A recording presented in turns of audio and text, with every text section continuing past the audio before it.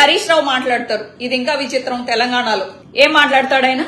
ఆంధ్రాలో ఉన్న వాళ్ళందరూ ఇక్కడికి వచ్చేసేయండి అని. బాబు హరీష్ రావు గారు ఇప్పుడు ఆంధ్ర వాళ్ళు కావాల్సి వచ్చినారా మీకు? ఇంకా తెలంగాణలో ఉన్న జనాభా సరిపోలే మీకు? ఇప్పుడు ఆంధ్ర వాళ్ళు కూడా ఇక్కడికి వచ్చేసి ఓట్లు మార్చేసుకుని మీకు ఓట్లు గుద్దేసేయాలి. ఏం మొహం పెట్టుకుని అడుగుతారు ఆంధ్ర వాళ్ళ ఓట్లు? నేను ఆంధ్రానా తెలంగాణనా? నేను ఏ వైపు నేను మాట్లాడట్లేదు. నాకు ఆంధ్ర తెలంగాణ రెండు రెండు కళ్ళు లాంటివి. నేను తెలంగాణ వైపు నుంచి మాట్లాడతాను తెలంగాణ వాళ్ళ హక్కుల గురించి మాట్లాడతాను ఆంధ్ర వాళ్ళ హక్కుల గురించి మాట్లాడతాను. లీవ్ అబౌట్ మీ ఆ రోజు వెళ్ళిపోండి ఆంధ్ర వాళ్ళు వెళ్ళిపోండి.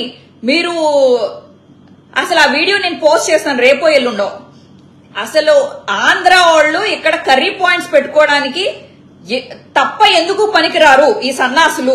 ఈ దరిద్రుల వల్లనే తెలంగాణ రాకుండా పోయింది. ఈ దరిద్రుల వల్లనే మనం తెలంగాణలో నాశనం అయిపోయాం. ఆంధ్ర వాళ్ళ వల్లనే మనం ఇలా అయిపోయినాం అని చెప్పి ఈ రోజు బీఆర్ఎస్ అని పెట్టి మీరు మొత్తం ఇదేంటి ఆంధ్రాలో కూడా పాగా వేద్దామని చూస్తున్నారు.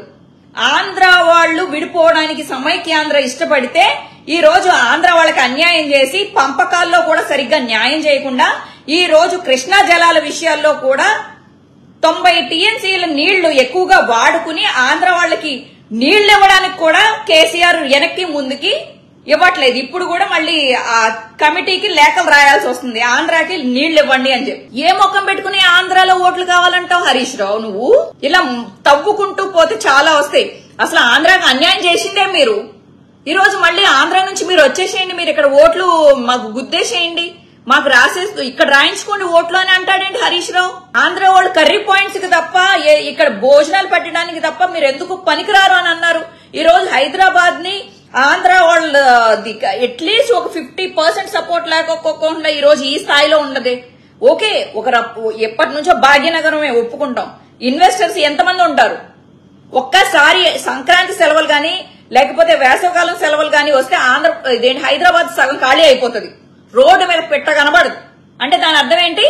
ఆంధ్ర వాళ్ళని తక్కువ చేసి మాట్లాడకండి ఎవరు కూడా. ఎవరికి ఉండే మర్యాద వాళ్ళు ఉంచుకుంటే బెటర్ ఆంధ్ర రాజకీయాల్లో ఏలు పెట్టి ఇలా ఇలా ఇలా కెలకాలని ట్రై చేయకండి. బెటర్. అరే ఆంధ్రప్రదేశ్ వాళ్ళు ఎవరో మేస్త్రీలు కలిసినంత ఆంధ్రోలు. అరే తెలంగాణలో మంచిగా కరెంటు మంచిగా వస్తుంది నీళ్ళు మంచిగా వస్తున్నాయి ప్రాజెక్టులు కట్టినాం పెన్షన్ ఇస్తున్నాం మరి కళ్యాణ లక్ష్మి ఇస్తున్నాం ఇన్ని బాగున్నాయి ఈయనే ఉండుర్రే అన్న. నేను ఆంధ్రప్రదేశ్ ప్రజల్ని తిట్టింది లేదు ఏం అన్నది లేదు. మనం చేసుకున్న పని చెప్పినాం లెక్కలు చెప్పినాం తెలంగాణలో జరుగుతున్న మంచి కార్యక్రమాలు చెప్పినాం చెప్పుకుంటూ మీరు ఇక్కడనే ఉండండి అయ్యా అన్న. కానీ అక్కడ కొంతమంది నాయకులు ఎగిరెగిరి పడుతున్నారు. ఉన్నదంటే ఉలుకు పడతా ఉన్నారు.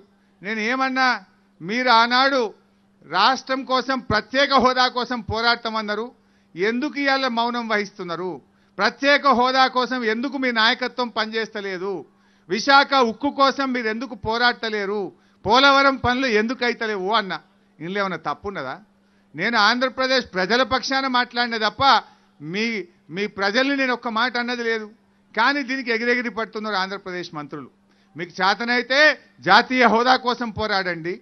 విశాఖ ఉక్కు కోసం పోరాడండి. పోలవరం తొందరగా పూర్తి చేసి మా కాళేశ్వరం లాగా నీళ్ళు అందించండి. అంతే తప్ప నేను ప్రజల్ని ఒక్క మాట అనలే. అయినా నేను మీ గురించి చెప్పే ప్రయత్నంలో కాదు. నా రాష్ట్ర ప్రజలకు ఈ రాష్ట్ర ప్రజల గురించి చెప్తూ చెప్తూ ఈ రాష్ట్రంలో జరిగిన కార్యక్రమాలు చెప్పినా ఈ రాష్ట్రంలో జరుగుతున్న మంచి పనుల గురించి చెప్పినా మీ ప్రాంత ప్రజలు ఇక్కడ సెటిల్ అయితే చల్లగా ఉండండి బాగుండండి.